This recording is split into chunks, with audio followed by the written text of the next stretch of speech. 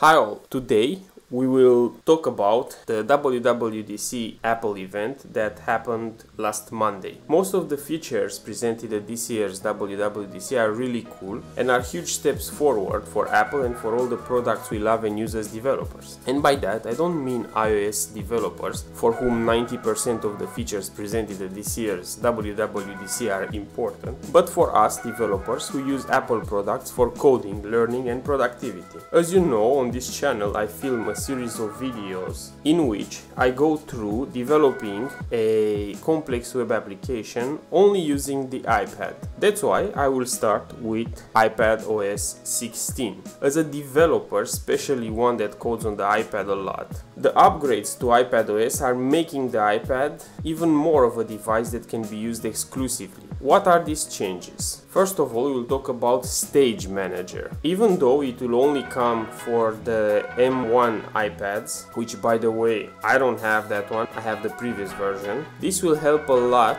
with staying organized and focused whilst having a lot of windows opened. When I code on the iPad Pro, I have a lot of apps opened. I have Blink Code for Code Server, I have my own database client, my REST client, a browser and many others. Stage Manager is super useful for creating workspaces and easily switch between them. The second most important feature is the external display support. When coding on the road in case you want to go and work in a co-working space or hub, now you can use an external monitor and connect it to the iPad. New display modes is a very useful feature for us who are coding on the iPad. We can choose the right resolution based on the IDE we are using and make the best out of it. One of the coolest features iPadOS 16 comes with is the live text for video. This will allow us to select text from a video which is an amazing feature. Imagine you are watching my coding tutorials and videos for coding on the iPad, then pausing and select the code snippet and drop it into your IDE.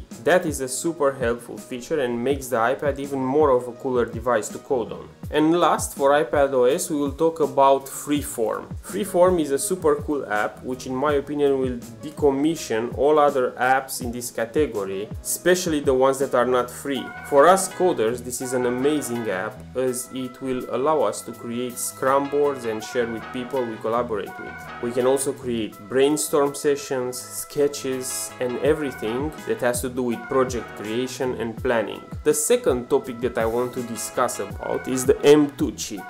The M2 chip sits in between the M1 chip and the M1 Pro, M1 Pro Max and M1 Ultra. With this and with the new redesign of the MacBook Air, you get a beast of a machine at an affordable price. So if you're a student and want a super reliable and super powerful machine, MacBook Air is actually for you. With a chip like the M2, you can go from coding to video editing all in a super compact laptop. Of course, you can also opt for the iPad Pro, especially now with the iPad OS 16, even though you are a student that codes a lot, because now, as I said, we can do so much more with the iPad Pro. But if you want to have more than just a tablet, the MacBook Air is the one for you now with the M2 chip. This is a short video that I decided to film because there were a lot of features brought up at this year's uh, WWDC. All of them cool features and like I said, important for iOS developers, but there are quite some important for us developers who are not coding necessarily for iOS. I think